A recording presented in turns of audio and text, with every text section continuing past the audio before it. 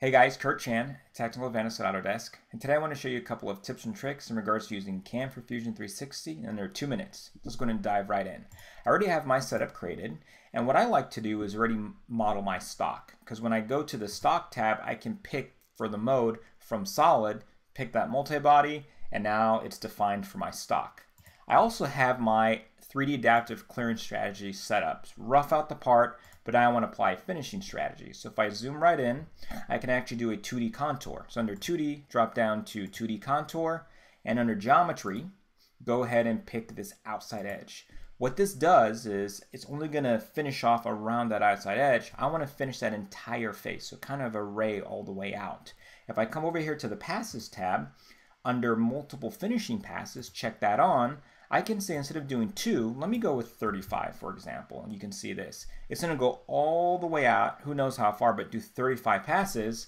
And for the step over, it's always going to be typically 10% the value of the tool diameter. If I right click on that, come down to edit expression, it will actually show me that.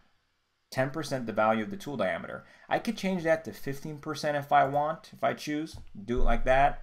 And once I have that already set up, if I right click on that step over where it says, I can say make default. So anytime I come back into that, that new expression is already set up, ready to go, which is actually really nice. So I'm gonna go and say, okay, so we can take a look at this. And you can see it kind of goes out, arrays all the way out, but you can see it goes past the geometry. So one tip is if I go back and edit that 2D contour, under geometry, by default, we don't have this checked on, but if I check this on, what this means, it kind of gives me a containment boundary saying, hey, keep within maybe the boundary of my stock or even the, for example, let me go and clear that out, the boundary of my part, just like that. So go in and click OK, and it'll show, hey, it's only going to keep within that boundary, but you see I have a lot of retracts there to, to do that finishing pass. If I go in and edit that contour back again, I'm going to just uncheck the stock contours and it's going to go all the way around. But let's take a look at this. If I right click on the contour, come down to machine time, this is actually going to take 2 minutes and 20 seconds to machine. So what I can do, which is a faster way, instead of doing a 2D strategy, if I go in and just suppress that toolpath, right click, come down to suppress, say OK or yes. Under 3D, we have something called the horizontal toolpath. And what this does, it looks at all the flat faces and does a finishing pass all across it. I'm going to use that same tool. I can even change under passes. I can change anything I want. But two, I'm just going to say OK. And it's going to analyze the entire part, find all the horizontal faces, and do a finishing pass on it. If I right click on that horizontal, come down to machining time, this is actually only going to take 58 seconds now. So a lot more efficiency when you work with 3D strategies. Lastly, what you'll see is I want to do a parallel path probably on this angled face. So under 3D, come down to parallel. I'm actually going to pick a different tool, right? Not a bullnose end mill. I'm going to go with a ball end mill that I have, quarter inch.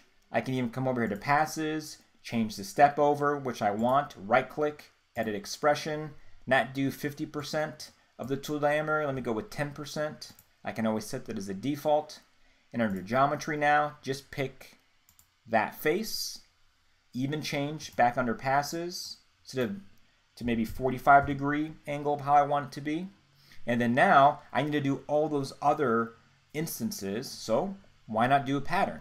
Click the toolpath I want a pattern, come down under setup, new pattern, from here, not a linear, we'll go down with a circular pattern, pick a rotation reference, so circular edge, for example, and instances of six all the way around.